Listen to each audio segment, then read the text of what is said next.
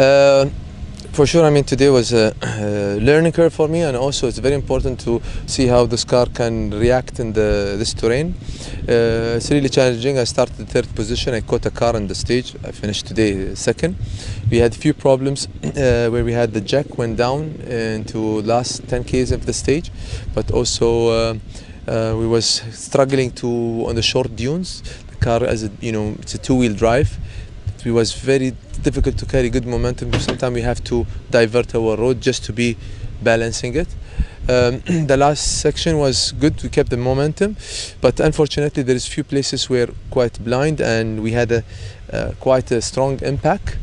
Uh, but all, uh, all in all, the, the, the mechanics will check the car, and hopefully we are ready and good for tomorrow.